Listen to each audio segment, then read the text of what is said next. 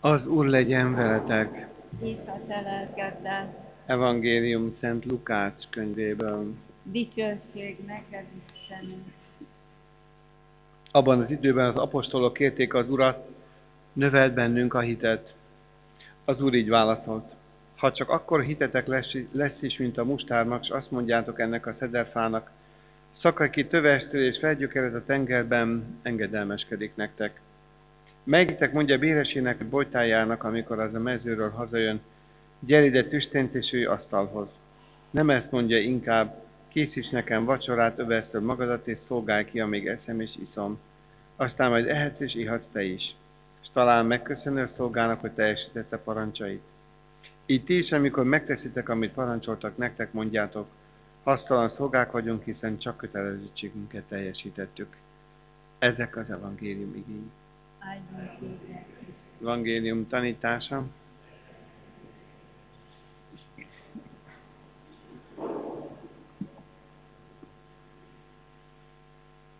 Kedves testvérek, egy furcsa, ám érthető kéréssel állnak elő az apostolok. Nevezetesen azt mondják Jézusnak, növeld bennünk a hitet. A kérés hátterében az van, hogy a tanítványok látják, hogy a Jézus hite, az imádságba és egyáltalán az atyába vetett hite, az atyával való kapcsolata egészen más, sokkal mélyebb, más dinamikájú, mint az övüké. Növelt bennünk a hitet mögött a keleti embernek az a fajta mentalitása és elgondolása van, mint hogyha a hit úgy mennyiségileg növelhető lenne, hogy nem egy kiló kenyeret kérek, hanem kettőt, nem egy rőf ruhát veszek, vagy véget veszek, hanem kettőt, mint hogyha a hit az egy ilyen kvantitatív dolog lenne, ami duplázható, triplázható, hozzáadható és elvehető. Növeld bennünk a hitet, vagyis tegyél valamit, hogy ez bennünk növekedjen. És erre Jézus valami döbbenetesen érdekeset és izgalmasat mond. Azt mondja, hogy csak akkora hitetek van is, mint a mustármag, és gyakoroljátok ezt a hitet, az növekedni fog. Ha akkora hitetek van, mint a mustármag, és azt mondjátok ennek a szederfának, hogy szakadj ki gyökerestől, az a tengerbe fog gyökeret verni. Ez a képtelen és lehetetlen állítás a keleti ember sajátos logikájára, nyelvjárására megy vissza, amelyik azt akarja jelezni, hogy a hitből fakadó kéréssel a lehetetlennek és a reménytelennek látszó dolgokat is el lehet érni. Nyilván nem szó szerint kell venni ezt a Jézusi mondatot, hiszen minden egyes csodának oka, célja, tárgya kell legyen, és fölöslegesen lárpurlál az Isten nem tesz csodát. Nem fog nyilván egy szederfa a tengerben gyökeret verni, ez egy metaforisztikus kép, ez egy olyan hasonlat, ami pontosan azt akarja kifejezésre juttatni, hogy a még ennyire lehetetlennek ható, a még ennyire valószínűtlen kérés is teljesedésbe megy, ha hittel kérjük. És az egész mögött az a koncepció húzódik, hogy van már egy mustármagnyi, egy icurka-picurka hitünk, amit gyakorolnunk kell, hiszen nekünk kell mondani a szederfának, hogy szakadjon ki tövestől. Ha mi gyakoroljuk a hitünket, akkor az növekedni fog. Ha mi teszünk azért és annak érdekében, akkor a hit egy sajátos röppáját ír le, és egyre inkább mélyülni fog. Kedveseim, ezzel egyébként nem sok újat mondtam, hiszen ha gyakoroljuk a betűvetést, akkor kialakul a szép, folyamatos, gyöngyöző írás. Ha gyakoroljuk az olvasást, akkor a betűk össze fognak állni szavakká, a szavak mondatrészek ki, a mondatrészek mondatokká, és megértjük az egész írást.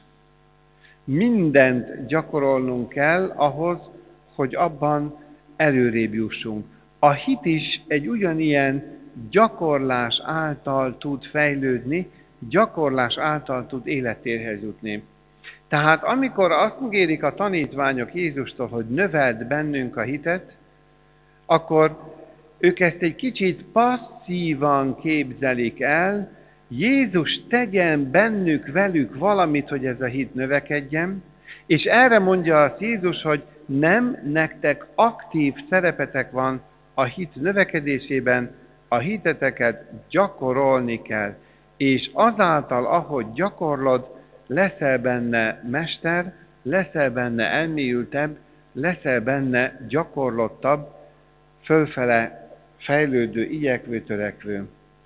Ennek a másik elképesztő példának az alátámasztása és illusztrálása a béres bojtár hasonlat, ókorban lévén szó, ókorról lévén szó, elképzelhetetlen volt, hogy egy házigazda együtt telepedjen le az asztalhoz a szolgáival.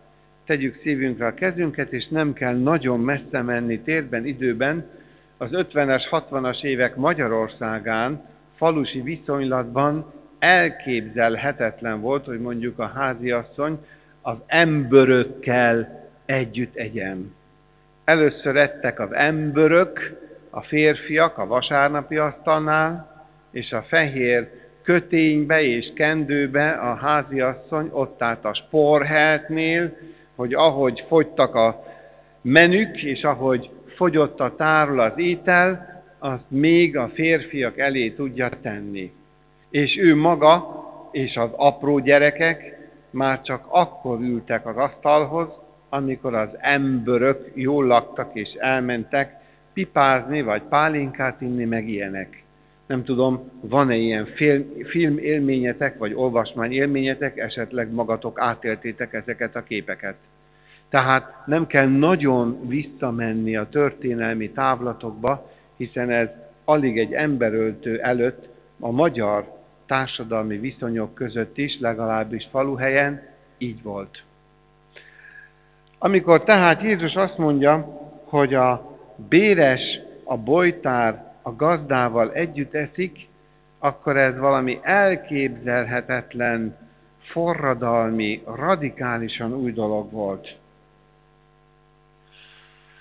Azt akarja ez a kép mondani, hogy amennyire lehetetlennek hat ennek a viszonyrendszernek a megvalósítása, úgy válnak valóra, még a lehetetlen kéréseink is, ha azt hittel tesszük. Innentől kezdve a hit egy csodálatos belső valóság, az embernek az egyik leginkább sajátja, rájellemző, ami ezek szerint fejlődhet és fejleszthető. A hit a belsőséges Isten kapcsolatnak a fedőneve. A hit az Istenre ráhagyatkozásnak a fedőneve. És azt mondja a mai evangéliumi szakasz, úgy a olvasmány és a szentletke is, hogy ebbe a hitbe akkor is bele kell kapaszkodnunk, hogyha nincs látványos eredmény, hogyha nem tűnik úgy, hogy Isten meghallgatna minket. Gyakorlatilag ezt mondja Habakuk próféta könyvéből vett olvasmány is, mert ez a látomás a maga idején beteljesedik és nem hízsul meg, ha késik, csak várj. Biztosan bekövetkezik tévedhetetlenül. Nem biztos, hogy a mi időnkben, nem biztos, hogy úgy, ahogy mi elképzeljük. De az idő és a lehetőségek Isten előtt vannak, itt tehát fölül tudja írni a mi időfogalmainkat és elképzeléseinket is. A mi feladatunk csak annyi, hogy ebbe az isteni ígéretbe belekapaszkodjunk, és osztatlan szívvel, elkötelezetten, hűséggel higgyük és várjuk. Isten ígéretei mind meg fognak valósulni. Ezt azért érzem fontosnak hangsúlyozni, mert a mai nap egy különösképpen fontos vízválasztó a magyar társadalom és a magyar élet, közélet és közgondolkozás a mindennapjaink, a hétköznapjaink során. Nem tudom, nyilván honnan tudnám, hogy mi volt, mi lesz a szavazás eredménye. Órám sincs rajtam, nem tudom, hogy lezárták-e már az urnákat, és majd talán csak az éjszaka közepe felé várhatók az eredmények. Nem tudom, hogy mi lesz az eredmény, de hogy Isten igéjében bele lehet kapaszkodni, és hogy ez nem csalt még meg, az tény. Lehet csalódni emberben, lehet csalódni az emberi bölcsességben, az okosságban, a rátermettségben, lehet csalódni nagyon sok mindenben, de Isten kijelentéseibe soha. Az mindig megvalósul, és mindig a javunkat akarja. Így tehát akármi lesz is a ma este eredménye, bárhogy zárultak is a szavazási listák, én belekapaszkodom Isten kijelentésébe, él a magyar, él a nemzet, és van jövője holnap és holnap után. thank you